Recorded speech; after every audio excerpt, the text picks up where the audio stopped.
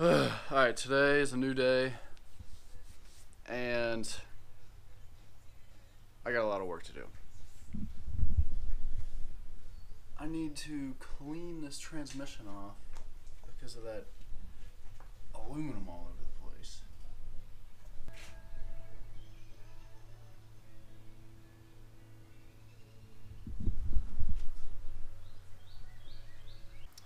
Alright, so I just cleaned up all these gasket surfaces, all of the sealant off of them.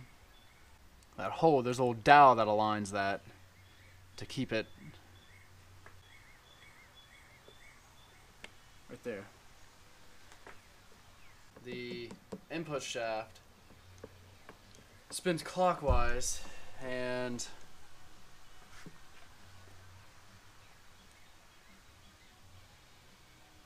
yeah, it pushes it it pushes it back in.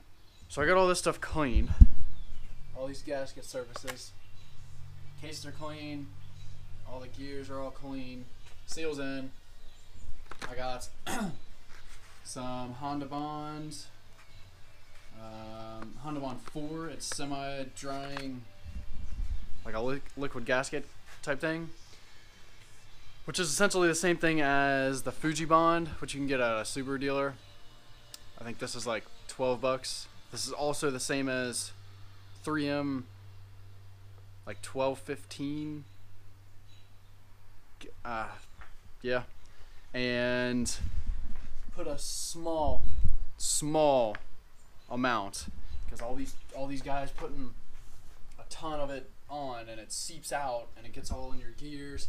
And if it's an engine it gets all through your oil ports and oil little little bit the only thing this is doing is filling in the minute imperfections within the machine surface on the aluminum casting, whether that be an engine or steel casting. So, kitty. So, and I put a little, and I don't know if this is just me being anal, but I noticed they were rusting just a little bit. So I put a tiny, tiny amount of anti-seize on the dowel pins and actually this one I didn't put any on. You can kind of see that it's rust that one and that one. They're just kind of nasty like and steel kind of sticks to aluminum and it corrodes and reacts whatever can't get them apart. So hopefully the anti-seize kind of keeps it from doing that so I'm gonna put this sealer on here and assemble these cases.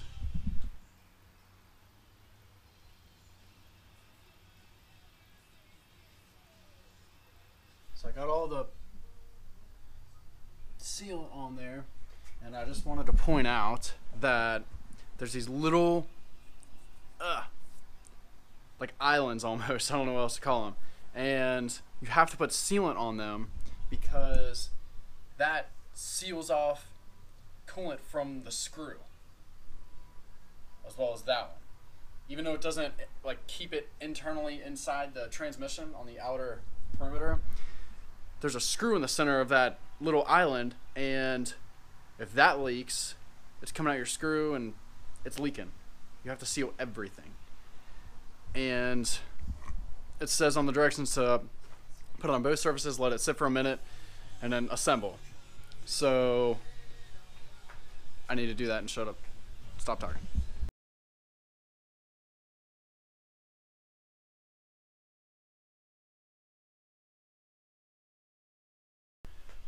So I got this together.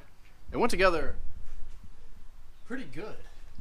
And as you can see, it's not, the sealant isn't exactly, it's smearing out a little bit, but not too much And now you can see where my vent lives. And it's pretty much it's pretty much like flush with that outer like where the gasket goes. I think it's a good spot. I'm gonna put these screws in, put this shift uh, nose cone, whatever you want to call it. Put everything together, and this gasket actually was very easy to scrape off. It's only been on there. I haven't scraped it off this yet. But it's only been on there for about a year. So that probably explains it. And I might check my backlash again. Just because the gears are broken in now and I can check it. Probably doesn't need it, but I'll watch the Subaru Gears video again and readjust. Alright, so I'm about to assemble this case. There are like five 10 mil bolts and then there's a bunch of other 8 mils. You can find this manual online easily and they have a little diagram right here. And the 8 mil bolts get 25 newtons and the 10 mils get 39 so they basically get 40 and it shows you the order that they need to be torqued. You have to torque this in that order because if you don't, you have to bring this down parallel with each other. You can't like torque one. It's like putting on a wheel. It's easy. And it's they tell you how to do it. They tell you how to assemble this. It's easy. There's two bolts in the center. They're freaking mosquito. 10 mil bolts. That and that they say to assemble through the other side. I don't know why because the bolt is technically pulling from both and compress. I don't. I don't know. This one, you cannot get that through this way because the head hangs up on this dipstick tube. So same with this one. These two just interfere so you got to put four in the other way. Not a big deal. I don't think, but for some reason they have them going in one way and the other. I thought I'd point that out because some some of you probably care, but here we go. so in the manual, says to torque all these in that order. Uh, 25 newton meters, 40 newton meters,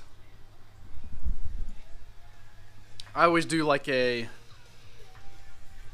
like a little pre-torque. I go in that order, and I use the little ratchet because you don't have very much uh, the quarter inch ratchet because you don't have much leverage on the bolts. And I probably torque down to probably half that, just by hand, just kind of snug them up, and that just assures that everything is against each other, and you're not just torquing one and torquing the other, and it's all in a bind you bring it down evenly. And another thing I did, this gear, actually that one too. Oh, I didn't even think about that. But this this one, both of them, are in between the cases. Well, I snugged these bolts up to pull this shaft in, which is against, which is the ring and pinion counter shaft, and I snugged that up so that was pressed up against these before I brought the cases together. Because if you bring the cases together and this is out, then that has to slide. I don't know. I I try. That's all we can do.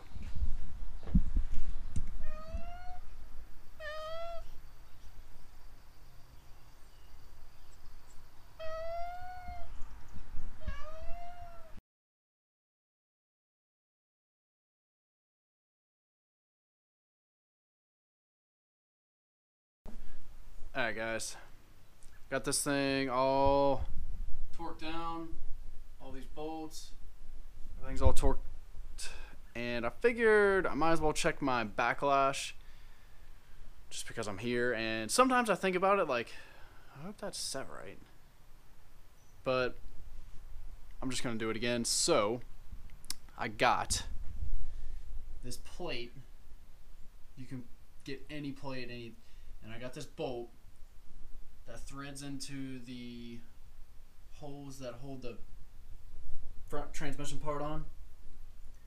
just kind of snugged it up. Got this magnetic little holder for this indicator, and just want to show you.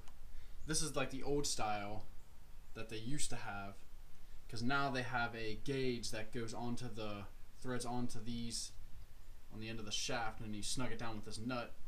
Kind of acts as a lock nut for that gauge, and then there's a little part they have, and you can measure with that gauge that they give you. But I don't have that, so it's on the tip of this hex, and it's at 0.0 mil, and you need 0.15.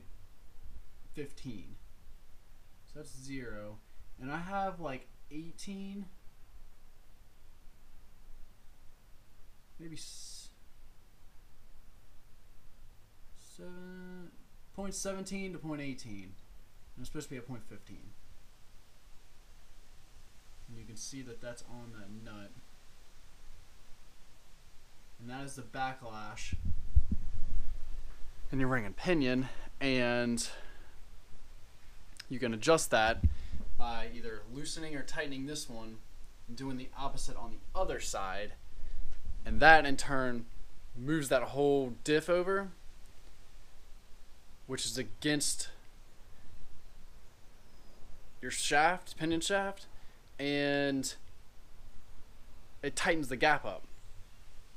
Well, mine is at like 0.17, 0.18. It's supposed to be at 0.15. I think I might move that over like a half a notch because there's these little lock. Hold on a second.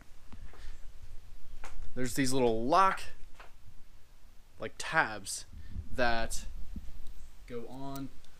Hold on a second. They go on like right there.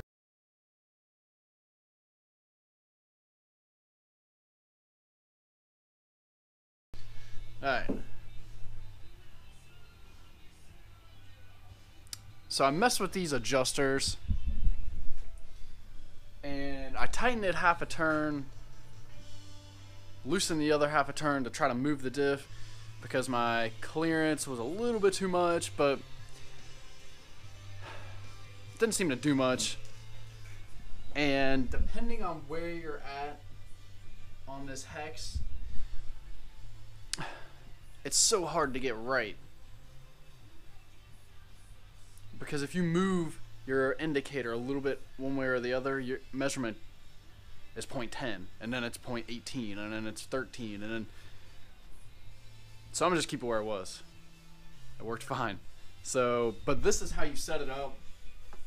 This is how I set it up, and just kind of. You can see.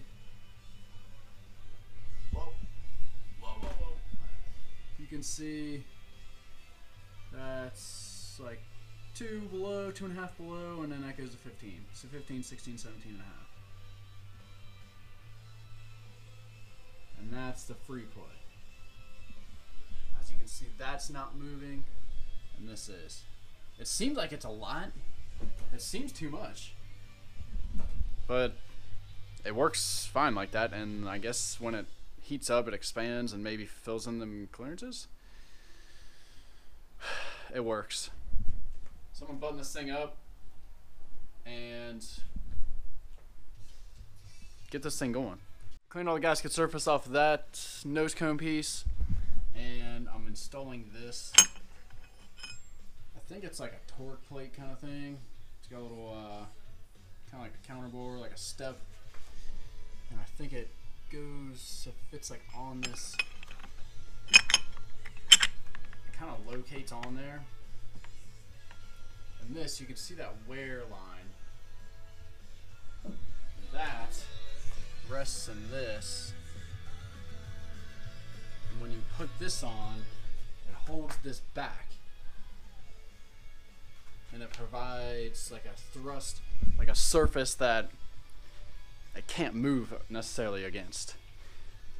And pretty sure it would only go on one way. If you put it on, if you put this on backwards, it might fit in there. It won't fit snugly on that shaft.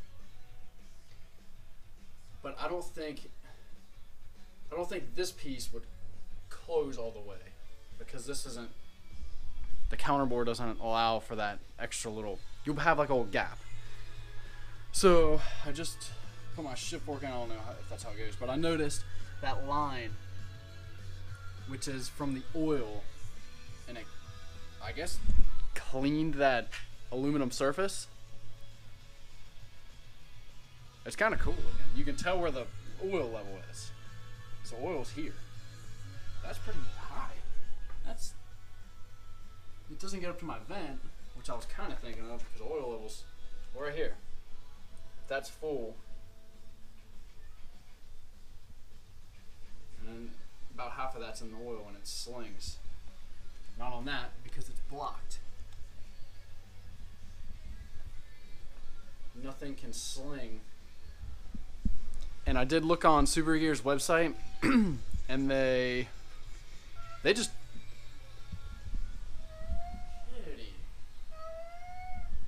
Kitty wants to help. But on the Subaru Gears website, they just drill like a two mil hole where that vent is, right here, at like an angle.